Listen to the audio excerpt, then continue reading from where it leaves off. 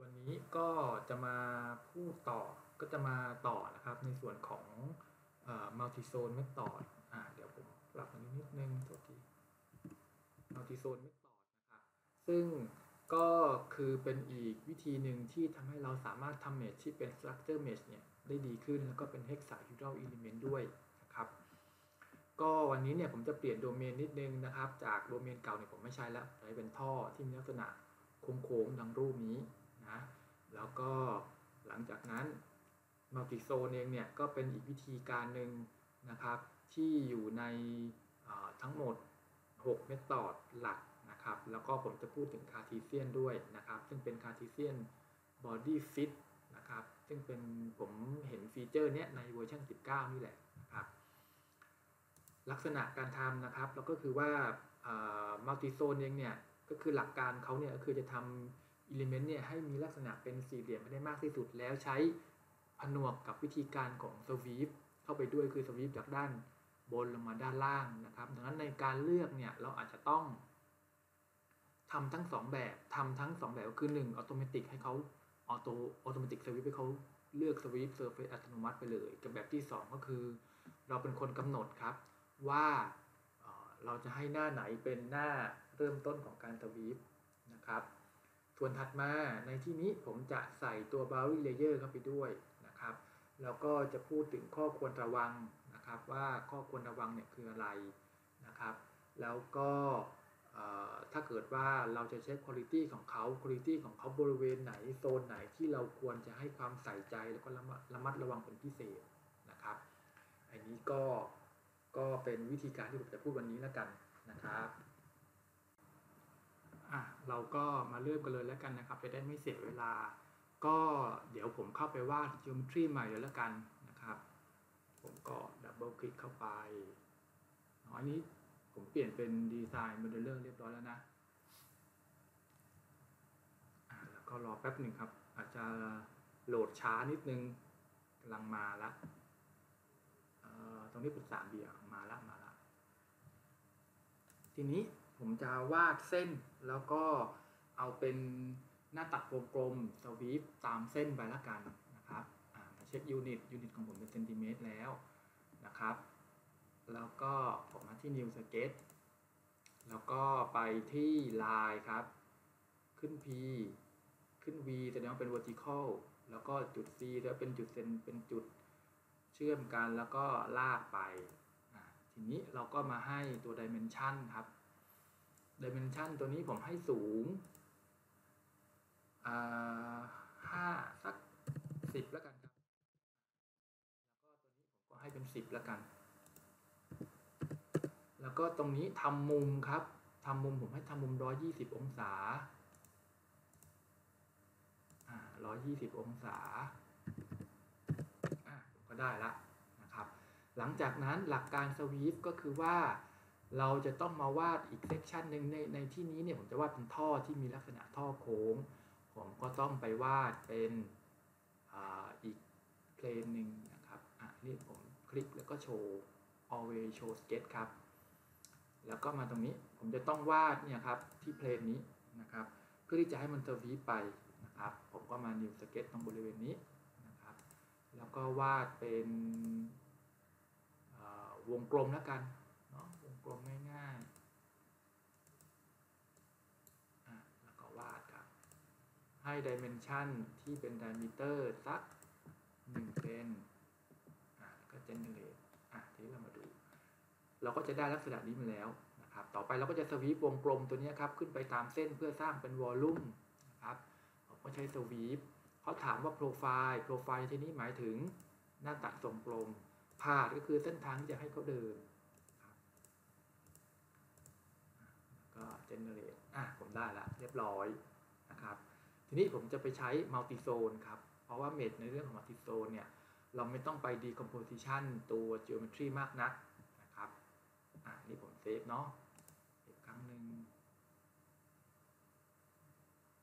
แล้วก็ต่อไปครับ เห็นไหมขึ้นเป็นเครื่องหมายถูกแล้วต่อไปผมก็ double click ที่ Mesh ครับพอ double click ที่ Mesh เนี่ย มันก็จะอ่าน geometry เมื่อกี้ครับ ไปที่ Mesh นะครับเนื่องจากว่าในที่นี้เนี่ยเรามี geometry แค่ชิ้นเดียว ดังนั้นเราไม่ต้องไปไปฟอร์ม new part ด้วยไปทำอะไรทั้งสิ้น เราก็สามารถไปทำที่ mesh ได้เลยนะครับอันนี้ก็เป็นเป็นเป็นเครื่องมือพื้นฐานเนาะน่าน่าจะทำได้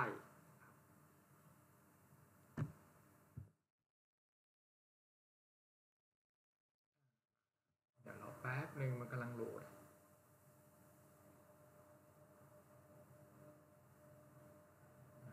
โอเค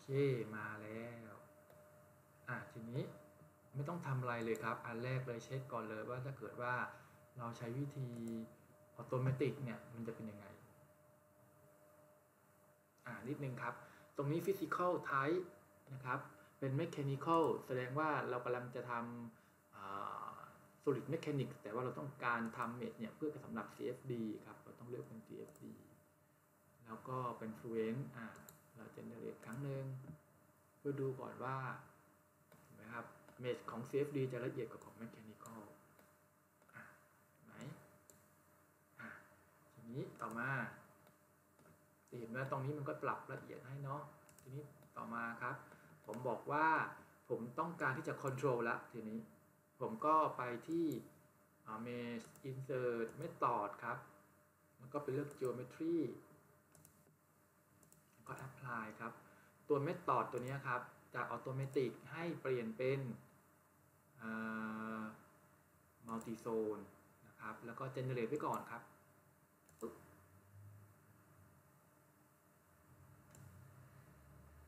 อ่านครับเขาก็จะ generate ไว้ให้แป๊บหนึ่งอันนี้คือยังไม่ได้เซตอะไรเพิ่มเลยนะครับ เอาแบบ multi zone แล้ว automatic ไว้ก่อน นะครับเห็นไหมครับเมดเขาจะพยายามทำเป็นสี่เหลี่ยมที่มีคุณภาพดีขึ้นให้ แล้วก็หลังจากนั้น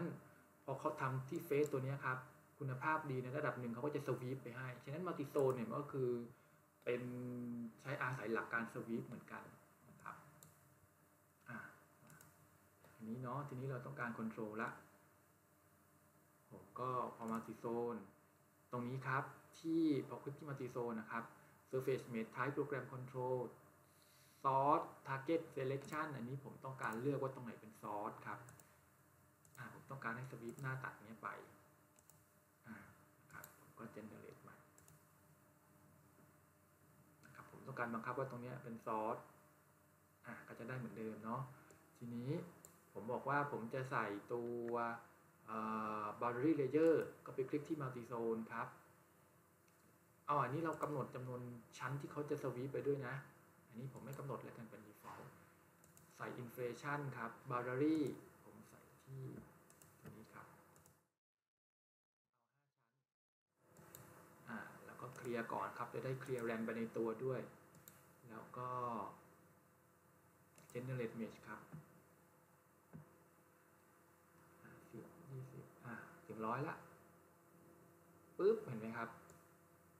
มันก็จะดีขึ้น แล้วก็จะมี boundary layer ขึ้นมา นี้เห็นไหมครับ ทีนี้ผมบอกว่าผมขอ boundary layer ตัวเนี้ยสัก 0.1 แล้วก็เอาสัก 10 ชั้นแล้วกัน โดยให้มีอัตราการโตเนี่ยอยู่ที่ 10%แล้วก็ generate ใหม่ เราจะได้ละเอียดขึ้นนะครับก็จะดูดีขึ้นนะแต่ทีนี้ถ้าเกิดว่าเรามาดูดีๆครับ จะเห็นว่าโดเมนของเราตรงนี้ครับ มันเป็นรอยรอยแหลมเปียบเลยผมบอกว่า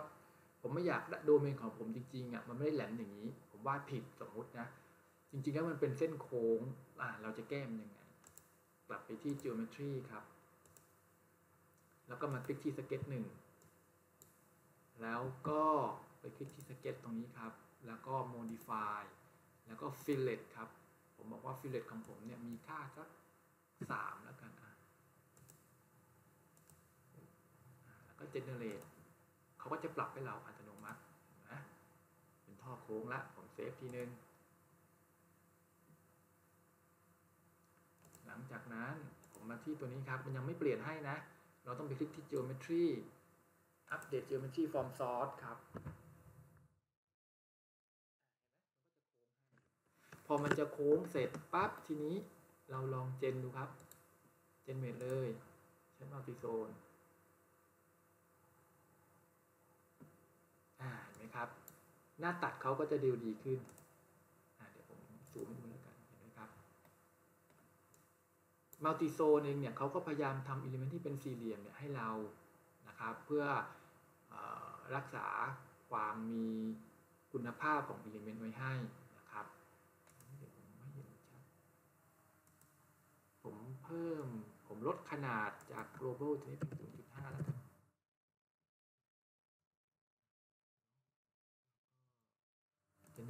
ได้เห็นชัดขึ้นอะนะครับ0.5เอา0.2อ่าเล็กลงหน่อยก็ generate ครับ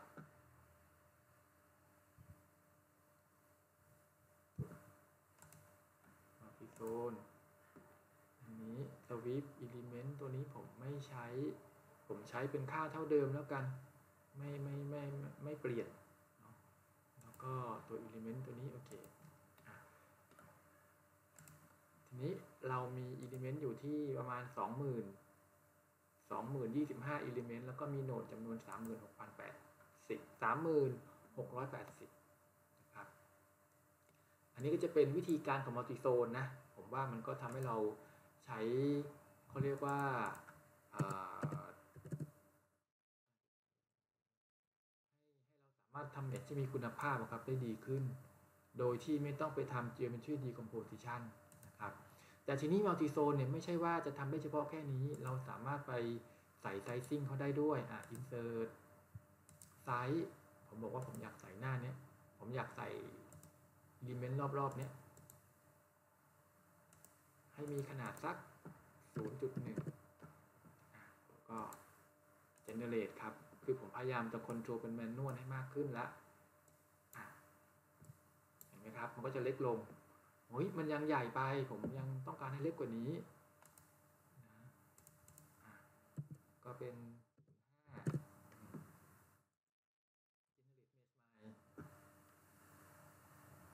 ตึ๊บตึ๊บทีนี้ element ก็จะเยอะขึ้นละ อ่าเห็นไหมครับ เห็นไหม ตรงนี้ให้ให้ระวัง นิดนึงนะ ถ้าเกิดว่ามันมันมันเล็กเกินไปอะไรอย่างเงี้ยครับ ก็จะมีผลกับตัวโซลูชันของเราได้อ่าทีนี้จำนวนที่เราสวีปตอนนี้มีอยู่1นึ่งแสนบอกว่าเวลาสวีปเนี่ยครับผมให้เขาสวีปสักหนึ่งร้อยชั้นอ่าสมมตินะอ่าแล้วผมก็เจเนเรตใหม่เอ๊ะเห็นไหมครับหนึ่งร้อยชั้นเฮ้ยไม่ใช่ผมใส่ผิดโทษทีเอ่อ ส่เป็นขนาด element size ครับ ต้องเปลี่ยนจำนวนเป็น element size เนี่ย เอาสักหนึ่งแล้วกันครับโทษทีโทษทีแล้วก็ generate ครับก็จะใหญ่หน่อยครับ ผมบอกว่าผมเอาเป็น 0.1 เลย 0.1อันนี้เราสามารถค o n t r o l ได้ทุกอย่างเลยนะครับค o n t r o l ได้ทุกอย่างนะ นี้น่าจะละเอียดล้วฟึบอ่าเห็นไหมครับก็จะละเอียดขึ้นนะครับซึ่งวิธีการนี้ก็ก็มีประโยชน์ในการทำเมจของเราอีกเช่นกันนะครับสำหรับ multi zone แล้วก็นอกจากนี้แล้วถ้าเกิดว่าเราผ่าดูข้างใน เราผ่าดูข้างในปึ๊บผ่าดูตรงนี้เนาะข้างในก็เรียงตัวค่อน เรียงตัวอย่างสวยงามนะ ถ้าเกิดใครทำในเรื่องของการไหลในท่ออะไรอย่างเงี้ยผมว่ามัลติโซนเนี่ยกินขาดครับไม่ต้องไปใช้ ANSYS ที่เป็น ISEM CFD อันนั้นก็จะใช้ยากแต่ว่าก็จะมีฟังก์ชัน Advanced ค่อนข้างมากนะครับเอ่อมาดู Quality หน่อยครับ Quality เนี่ยอะผมเช็คออโต o น a l เขาหน่อยอะใกล้ๆหนึ่งก็โอเคอะ มันมากองอยู่ที่หนึ่งพอไปคลิกเสร็จปั๊บก็จะโชว์ว่าตรงไหนที่มีค่าออโต o น a l เห็นไหมครับ ค่าออโต o น a l ที่บริเวณอื่นนะค่อนข้างดีนะครับ แต่ว่ายกเว้นที่บริเวณขอบตรงนี้ครับที่เป็นจุดๆเนี่ยครับบริเวณเดี๋ยวผมกด no ก่อนนี่ครับบริเวณนี้ออโต o น a l เขาจะไม่ค่อยดี เช่นการทำมัลติโซนบริเวณนี้ก็ต้องระวังอีกเช่นกันนะครับ ก็ต้องระวังต้องคอยเช็คด้วยว่า orthogonal ของเราหรือว่าค่า element quality ของเราเนี่ย มันเเป็นไปตาม requirement ที่เราต้องการไหมอะไรอย่างเงี้ยครับอ่าเนี่ยครับเห็นไหมมันค่อนข้างจะจะบริเวณมุมเนี่ยแหละมีปัญหานะเห็นไหมครับ มันก็จะเบี้ยวๆหน่อยนะครับ แต่ก็ยังถือว่าเป็นอ่า hexahedral element อยู่อะปิดนะครับ อันนี้ก็เป็นการให้เราทุกคนรู้จักในส่วนของ multizone นะครับ ทีนี้จาก multizone ครับ เปลี่ยนมาเป็น cartesian หน่อยสิ ว่ามีอะไรเปลี่ยนแปลงไหมอะ generate mesh ใหม่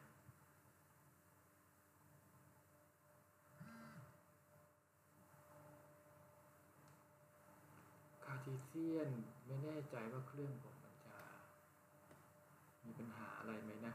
หลักการ cartesian ก็คือว่า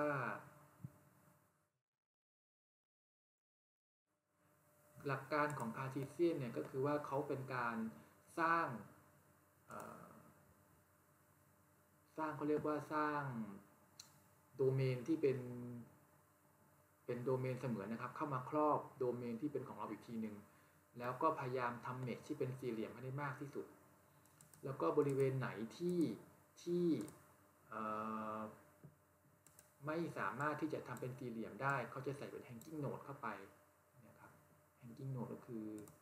element หน้าตาแบบนี้ครับ ก็คือ unstructure นั่นเองจริงๆไม่ใช่ unstructure ก็คือพยายามจะคงที่เป็นสี่เหลี่ยมให้ แต่ว่ามันใช้ มันเหมาะกับ งานบางงานแล้วก็ที่เคย test มาเนี่ยบางที cartesian เองครับ มันทำให้เกิดปัญหาว่า error เนื่องจากว่าเออมันเขาเรียกว่าคุณภาพเขาไม่ได้เช่น cartesian เองเนี่ยหรือว่า body fit คาร์ทีเซียนตัวนี้เนี่ยผมเองก็ไม่ค่อยได้ใช้นะ อันนี้คือส่วนตัวนะครับ คือส่วนตัวเลยนะ ผมเองก็ไม่ค่อยได้ใช้เท่าไหร่เดี๋ยวผม generate ให้ดูใหม่ผมเองก็ไม่ค่อยได้ใช้เท่าไหร่ เพราะว่าถ้าเกิดว่าผมสามารถทำ multizone ได้ทำ sweep ได้ผมก็ทำพวกนี้ไปนะครับเห็นไหมเขาก็จะสร้างแล้วก็พยายามทำเป็นสี่เหลี่ยมแล้วก็อีกอันหนึ่งที่จะเจอปัญหาก็คือว่าบางทีพอ body fit นะครับ มันจะเจอปัญหาอย่างนี้ มันจะเรียงตัวมันจะมีทั้งสามเหลี่ยมสี่เหลี่ยมอย่างเงี้ยแล้วก็เจออิเลเมนต์ลักษณะหน้าตาแปลกๆเนี้ยครับ อันนี้ต้องระวังนะ ต้องต้องดูความเหมาะสมของงานด้วยนะครับ หรือว่ามาดูฝั่งนี้เนี่ยครับบางทีอิเมนต์มันก็ทำให้เจอ m e t r y เราเปลี่ยนไปเลยนะ อันเนี้ยถือว่าไม่ผ่านนะครับเนี่ยถือว่าไม่ผ่านนะเดี๋ยวผมซูมเข้าไปให้ดูเนี่ยครับ geometry เราแบบเป็น defect ไปเลยนะครับฉะนั้น Cartesian เองต้องใช้อย่างระมัดระวังเนี่ยครับเป็น defect ของ geometry ไปเลย ถ้าเกิดว่าจะให้มัน capture ตัวนี้มากขึ้นเนี่ย อาจจะต้องไปปรับตัวนี้ครับให้มันละเอียดขึ้นนะ element size อะไรพวกเนี้ยครับ พวก scaling factor projection factor อะไรพวกเนี้ยนะ อันนี้ก็ก็คร่าวๆครับ ทั้ง multi zone แล้วก็ body fit อะทีนี้ก็น่าจะประมาณนี้นะครับ แล้วก็เดี๋ยวคราวหน้าเนี่ย น่าจะมีในส่วนของ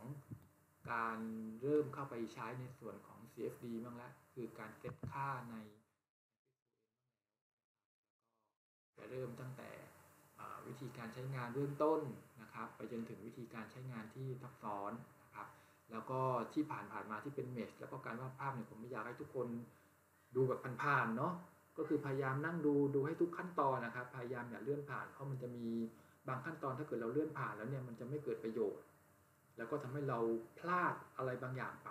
นะครับดูซ้ำได้ครับไม่เสียตังค์ฟรี แต่ว่าอยากให้จะให้ทุกคนเนี่ยดูอย่างละเอียดแล้วก็ตั้งใจนะครับ ดูรอบเดียวเข้าใจจบ จะได้ไม่ต้องกลับไปดูอีกนะครับ แล้วก็จะได้ทำโปรเจกต์ทำงานวิจัยหรือทำงานจริง ๆ ไปได้อย่างอย่างรวดเร็วนะอ่าถ้างั้นคราวหน้าเจอกันก็น่าจะเป็นการใช้งาน Assist Fluent ละนะครับสำหรับวันนี้ก็โอเค สวัสดีครับ